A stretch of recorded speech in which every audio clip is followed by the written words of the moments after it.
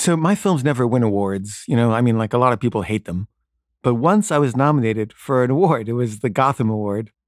And it was kind of a backhanded compliment award. It was for best film not playing at a theater near you. Um, but, you know, I was happy to get nominated for anything. And there was kind of like a ritzy award ceremony, and all these kind of really important people would go to this ceremony. And I was excited to go. I, I kind of wanted to for years, and I'd never been invited. And finally, I was invited to go to this award ceremony. And, you know, I didn't think I'd win or anything, but I thought I should, you know, prepare an acceptance speech just in case.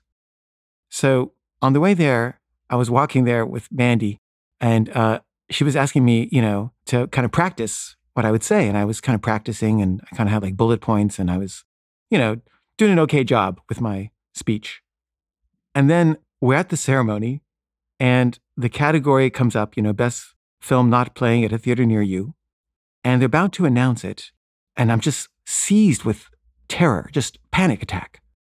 And I start praying to God and I'm saying, please, God, please, please, please don't let it be me. Don't let it be me. Please don't let it be me. Because I was just so scared of having to go up there and accept it. And the woman says, and the award goes to Caveh Zahedi.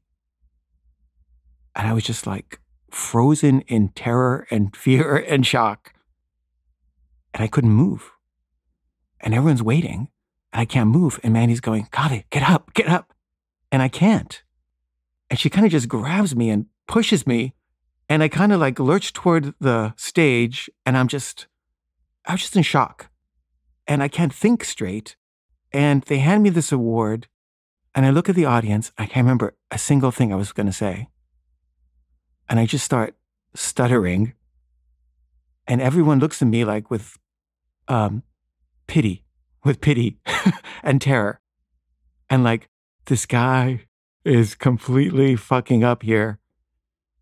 And then I say something, and Bill Murray was in the audience, and Bill Murray laughed.